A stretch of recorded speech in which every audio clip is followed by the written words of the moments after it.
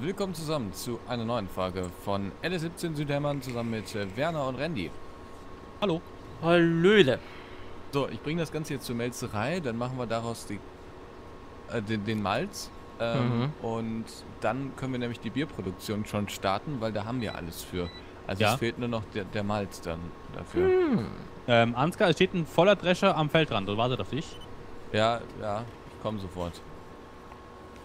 Sonst haben wir noch einen auf dem Hof. Nein, Gut. Wir haben nichts mehr auf dem Hof. Was äh, ist alles, alles Ach, belegt. Zwiebeln, ah, okay. Ähm, ja, okay. Gut, der kann aber abgefahren werden, weil der ist voll. Der ist auch voll. Der Zwiebelanhänger ist schon voll, ja. Eieiei. Oh, aber in meine, also da, da passt nicht viel rein. Also ich konnte nicht mal meine komplette Maschine beim ersten Mal entlernen. Ja. Aber dadurch, Äh, dass ja nicht. Jetzt, wird es aber ein bisschen stressig hier. Jetzt ist viel zu tun auf einmal. Nö, gar nicht. Ähm, nicht? Nö. Also, Also ist doch eigentlich alles entspannt. Wir brauchen jetzt noch Wasser hier für die äh, Melzerei. Jetzt weiß ich nicht genau, wie wir das am besten organisieren. Äh, ich kann dir Wasser bringen. Ja, das wäre super. Äh, die Frage ist nur, wo packe ich die Kartoffel, ah, die, die Zwiebeln jetzt hin? Erstmal ins Lager. Ja, würde ich auch sagen. Allgemeinlager? Okay. Ich weiß nicht, was wir damit noch machen können. Ich auch nicht, gucken wir uns später an. Wer wollte die nochmal anpflanzen? Äh, das war Ansgar. So, ähm, ich bin unterwegs. Was war ich? Ja, so habe ich das auch in Erinnerung. Wisst ihr? Anpflanzen? Habe ich es gesagt? Sind wir uns hundertprozentig sicher. Und wir sagen Aber das jetzt nicht nur, um von einer Person abzulenken. Ja, ich, ich merke das schon, aber Zwiebel wird hier nicht kann angenommen. man, kann man Dann gibt's ein eigenes? Lager. Also geht das überhaupt? Du verwirrst mich gerade. Wie, wie, Ihr, ihr verwirrt mich. aber, aber wie würdest du es denn nennen, Ansgar? Das Anpflanzen. Nein, anpflanzen ist ja grundsätzlich schon richtig, aber geht das im LS? Kann man die wieder anpflanzen? So meine ich das. Ich glaube, wir reden gerade komplett aneinander vorbei. Ja, das kann sein. Also ja, man kann im LS Saatgut anpflanzen. Und wir haben damals ja auch die Zwiebeln angepflanzt. Ja? Ja, Das war deine, das war deine Frage. Kann man die, Flie äh, die Zwiebeln anpflanzen? Ja, man kann. wir ernten sie ja gerade. Oder meintest du, jetzt können wir die abgeernteten Zwiebeln wieder neu anpflanzen? Ja, so meine ich. Ach so, nein. Ach so. Nein, das geht nicht. Das dachte ich mir auch.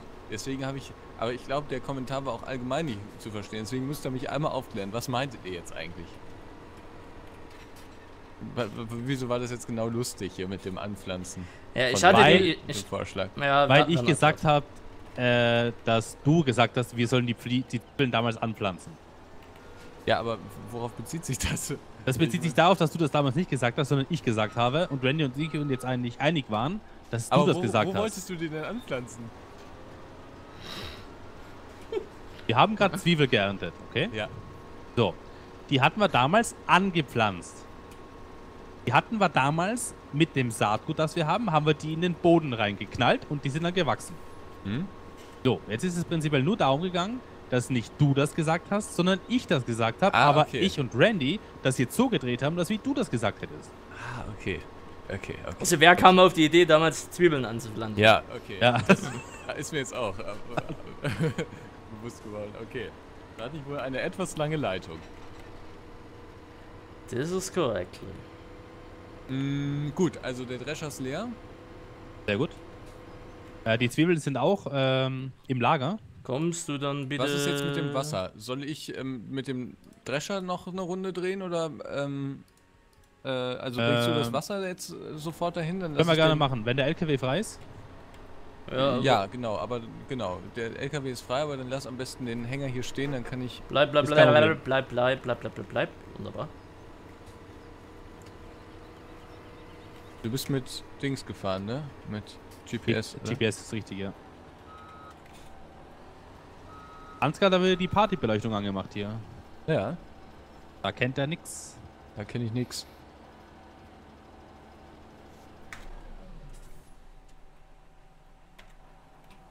War das das einzige Feld mit Zwiebeln? Ähm... Glaube nicht. Wo haben wir es denn? Fruchtsorte, Kategorie bei.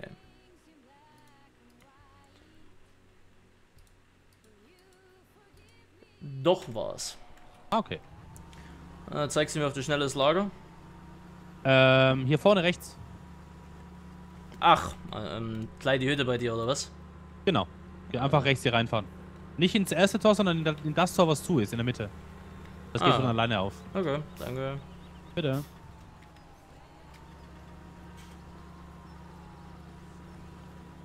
So. Wow. Wo hatten wir denn Wasser geholt? Wisst ihr das noch? Gratis?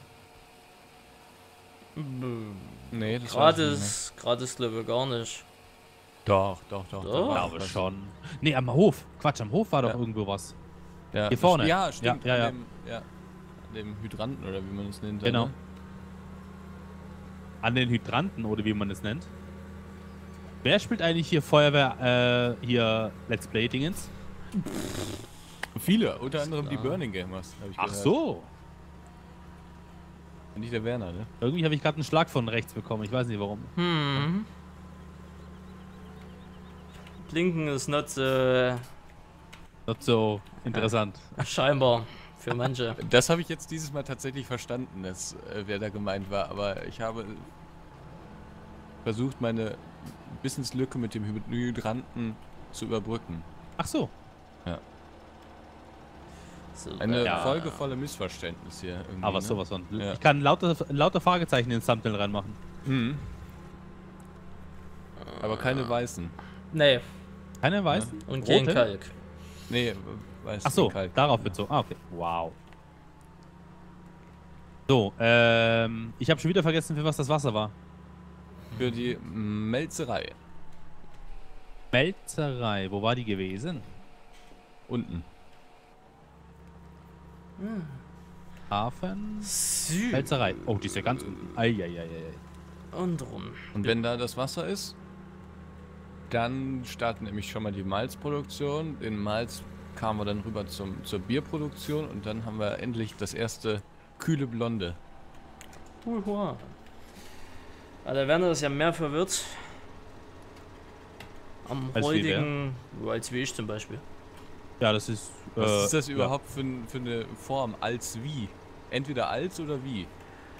Ja, Grammatik. Ja, bin das Nallnäher. Ist in Ordnung. Ist angekommen, danke. Bitte. die Kernaussage muss getroffen sein. Und die Achso, getroffen. okay. Und doppelt gemoppelt hält Muss getroffen besser, ne? sein? Jetzt verstehe ich es aber nicht mehr. Ja. Die Kernaussage muss getroffen sein. Ne? Ja, man merkt, die Gamescom schlaucht. Ne? Nagt an uns allen. Wir schlauchen halt nicht, ist halt immer nur scheiße, wenn es vorbei ist. Vielleicht hattet ihr ein, ein strenges Wochenende. Wir haben ja heute Montag. Nö, Vielleicht war eu- euer Wochenende nicht ganz cool. Das ging hoch. Samstag halt dann wirklich vier, nee, dreieinhalb Stunden nebengebrettert. Dadurch, dass Das es geht drei, aber eigentlich. Ja, das ist dann aber bei dreieinhalb Stunden und knapp 500 Kilometern natürlich auch jetzt nicht eine 130. Also das spricht, ist das ist kein entspanntes Fahren. Es ist schnelles, zügiges Fahren. Also es ist halt kein entspanntes Fahren. Und ich habe da halt so die Angewohnheit, auch wenn ich noch Beifahrer bin, ich bin dann sehr konzentriert darauf, was vor mir passiert. Und ja, also per se, das ist halt, ich weiß nicht, du wirst halt eine, also deswegen, das ist das, was ich hier geschrieben hatte, Ansgar. Du wirst halt wirklich so eine Woche mit tausenden Impressionen zugeballert, weißt du, und ja, dann ist es halt vorbei. Und dann denkst du dir so, dann hast du so ein, zwei, drei Tage, wo du dir so denkst, hm, eigentlich scheiße. Und dann kommt halt der normale Alltag wieder.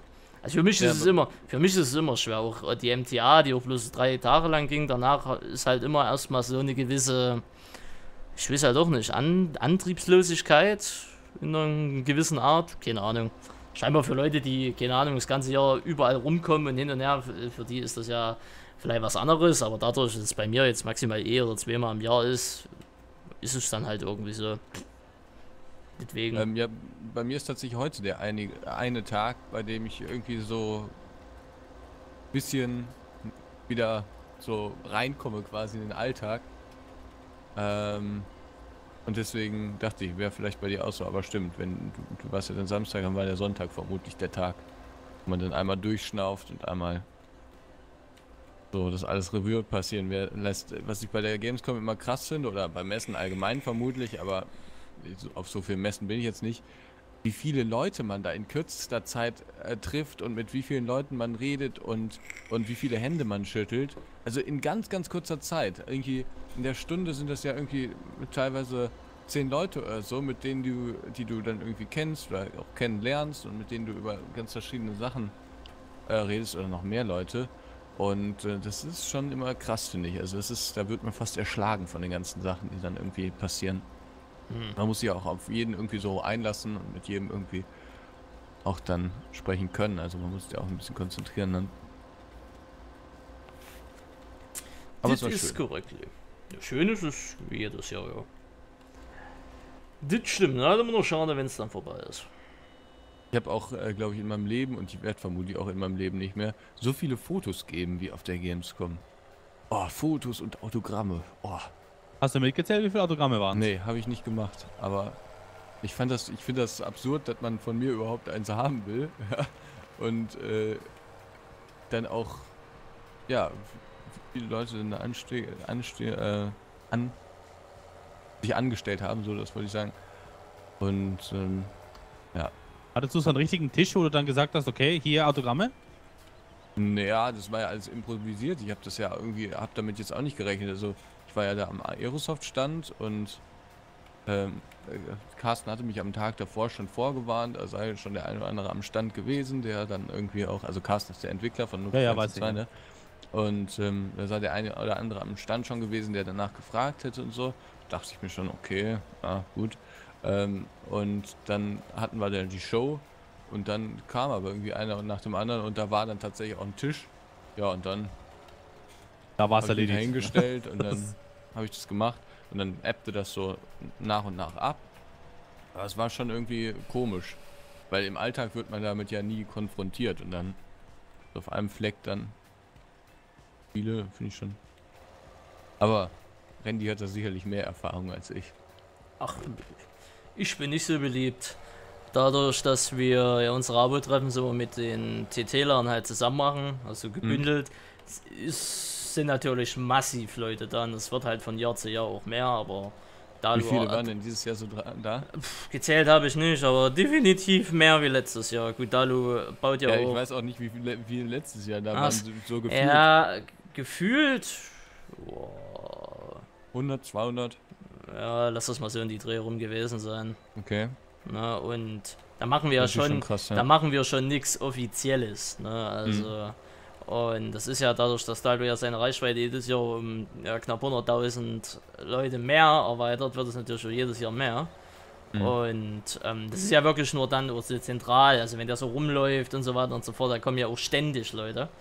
Und Aber ähm, ist Dalukat, oder? Dalu, ja, ja. Und Ich hätte dadurch verstanden. Achso, ja. Nur bei dadurch war es dieses Jahr dann auch deutlich mehr. Also man Mhm. hat dann schon gemerkt, dass er ja, bekannter geworden ist. Und da ist dann natürlich dann schon was anderes, wenn die dann alle halt auf einem Fleck sind und so weiter und so fort. Und klar, äh, viele wollen nur zu ihnen, aber es wollen extrem viele halt zu allen, die in der Gruppe halt sind, weil wir halt als Gruppe einfach auftreten. Ne, und somit hast du dann natürlich dann schon auch genug zu tun. Das ist ganz klar. Hm. Das ist ganz klar. Verstehe ich. Gott sei Dank habe ich mich vor zwei Jahren auf meine Unterschrift geeinigt, dass ich meinen Namen nur noch abkürze. Was willst du denn bei Randy noch abkürzen? Nein, Ich unterschreibe doch nicht mit Randy. Unterschreibst du mit Ansgar? Ja. Ah, okay. Aber ich habe auch, das war auch, also ich war da wirklich absolut gar nicht drauf vorbereitet und deswegen, ich habe keine Unterschrift, keine richtige. Also ich habe dann einfach Ansgar geschrieben, aber wüssten, Werner, was würdest du denn schreiben? Boah, ist eine gute Frage. Also ich muss mir da, ich muss mal die nächsten, Ich habe da nicht so Gedanken drüber gemacht, tatsächlich. ja, ich, macht, macht man sich halt genau. Nein, nicht, warum ne? auch? Also, Ja. Naja, aber es ist ja jetzt auch nichts Weltbewegendes. Aber ja, ich habe da immer Ansgar geschrieben. Achso, nö.